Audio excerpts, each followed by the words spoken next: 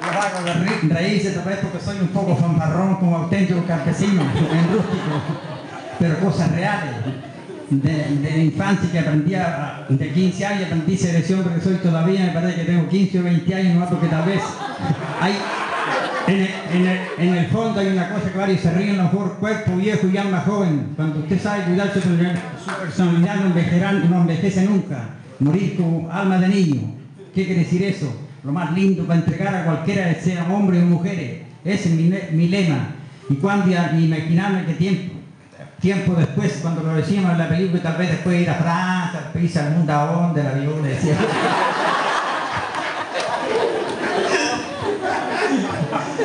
Y, lo más tremendo que un hombre sin estudio ni nada pueda aprender a leer y a escribir. Pero para eso, para entregar a los buenos fuerzas, él deben escribir porque el tesoro más grande se lleva en el corazón, ser como la lámpara que ilumine a cuantos andan en la oscuridad. Así fue cuando llegó, llegó la buena nueva que tendría que ir a Francia. ¡Oh, me- qué tremendo! En los cuales estuve, fueron como 15 días, anduve como volando en el aire pensando que ni podía dormir. Tres, tres cosas que las tengo grabadas en mi mente. En primer lugar, subir a un avión que nunca más he subido, y ir a, ir a tierras extrañas, eh, el clima y las comidas, todo eso me hizo pensar a la persona a la altura que tenía uno ya, pues no era nada, un niño joven de 50 años. Pero,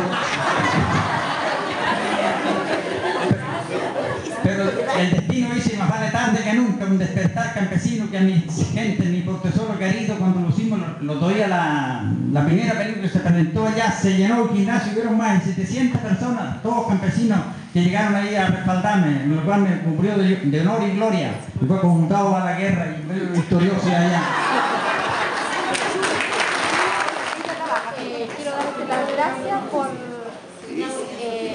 mostrar una parte en el fondo de muchas personas que somos campesinas, una realidad de nosotros mismos en el fondo. No sé si era mucho alargando el rato porque me gusta, soy bastante redactor, las cosas a fondo. Porque al momento, al momento cuando íbamos a embarcar para ir a, Fra- para Francia, aquí en Chillán la discusión fueron y me entrevistaron y me dijeron qué pensaba yo del viaje, cómo lo tomaba. Yo le dije, para mí esa era una odisea, porque una palabra medio en rústica que vale uno la entiende, gente sencilla más que uno, a lo mejor es una odisea de los tiempos de los ríos, cuando alguien salía no sabía si volvía o no. Y me revestí con los mejores eh, cumplimientos que tenía que hacer, entregar mis comités de Carlos formados, mi casa y, y al último también pedí la bendición en mi iglesia como soy bastante de fe, para volver sano y salvo, victorioso. Y allá la pasamos. No puedo decir de qué manera la pasamos. Era de lo que cierta medida todos los chilenescos hemos vivido, tenemos raíces campesinas y en nuestra memoria, tal vez los más, más mayores, tenemos vivencia de ese tipo, que es realmente un trabajo muy, muy, muy hermoso.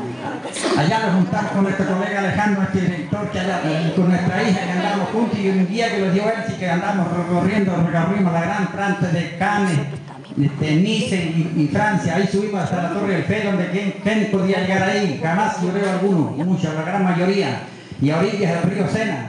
Y aquí fue la paladín de la justicia, la señora del, de, de aquí, del nuestro guía, nuestro traductor que está terminando, ya lo que más a decirles, lo mejor tendría para rato, tal vez podría amanecer, pero quiero terminar aquí con esta frase más. Y gracias a toda la asamblea, autoridades presentes y nuestros caballeros también.